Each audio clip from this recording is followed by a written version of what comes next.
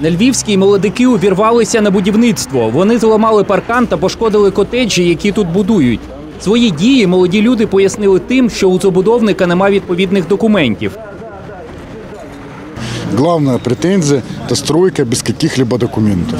То есть у человека есть только гусак на землю, а, но а, б- б- кр- декларации, местобудивных умов ничего нет.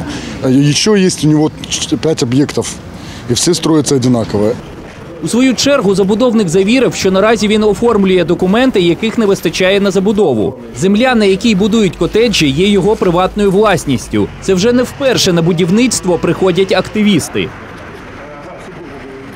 Как в 90-х годах, группа в составе где-то 30 человек с кувалдами, с топорами налетела э, на мою частную собственность и начала громить.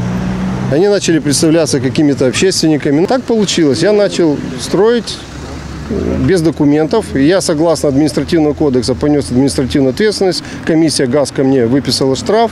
И я теперь сейчас э, в стадии оформления хочу все оформить, чтобы было все по закону.